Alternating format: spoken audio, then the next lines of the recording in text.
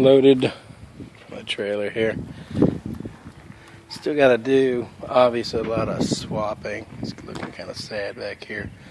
I was going to swap to the uh, different rear fender, different front fender, different handlebars and mirrors and all the hardware here. You know, different controls.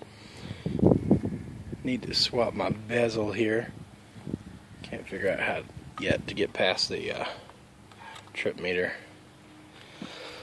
carburetor's been giving me a lot of problems.